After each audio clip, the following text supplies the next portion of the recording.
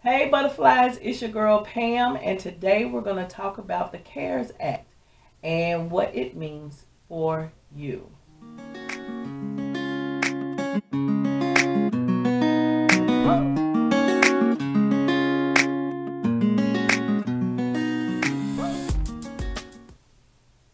All right, butterflies, what we're going to talk about today is the CARES Act, and the CARES Act is um, where on March 27th they signed that all student loan interest and payments were going to be forgiven up until September 30th, 2020.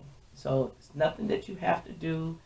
If you have a student loan or parent loan that is secured by the federal government, then they will not add interest and you do not have to make payments.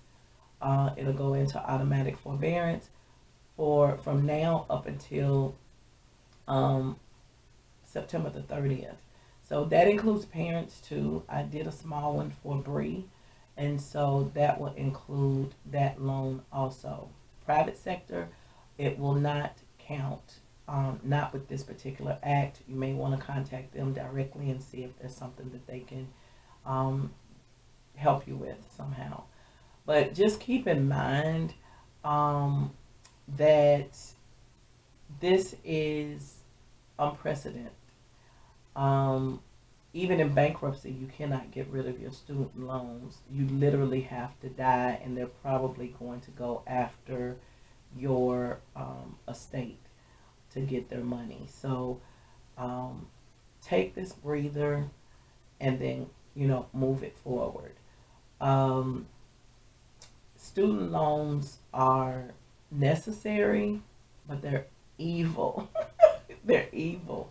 You know, we want the education. We want to be, and some of us just don't have the means to be able to, you know, to go without, uh, that's the dog.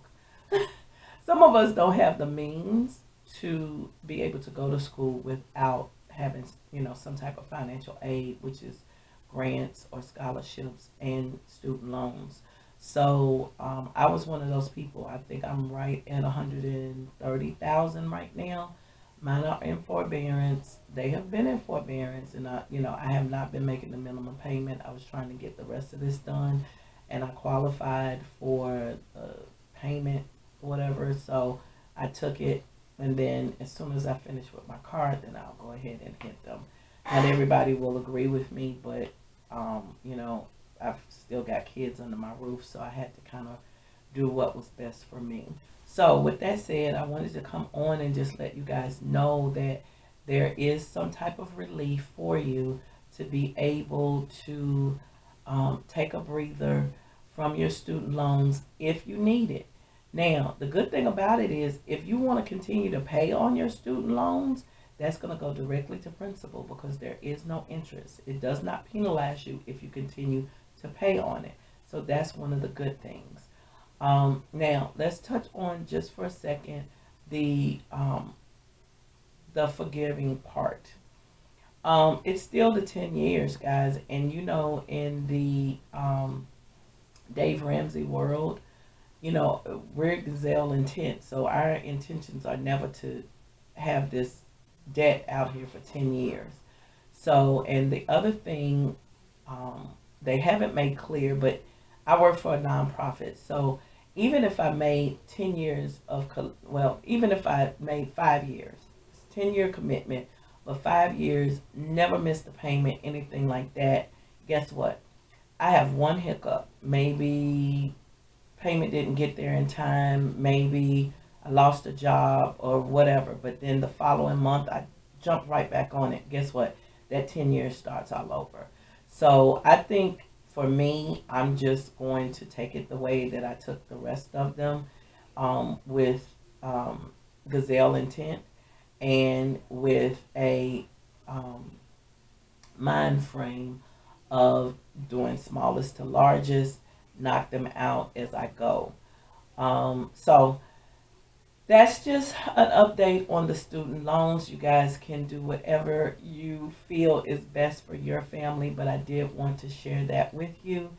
And um, tell me in the comments what you guys are planning on doing. Are you going to take an extension if you have um, student loans? Are you going to take this? I think it's six months. Are you going to take the six months? Are you going to continue to pay and just have it go to the interest? So let me know in the comments below. Um, make sure you subscribe if you haven't. I don't know why you haven't, but um, we would love to have you a part of the Butterfly family. If um, you so choose, go ahead and give it a thumbs up. And until next time, love you, butterflies.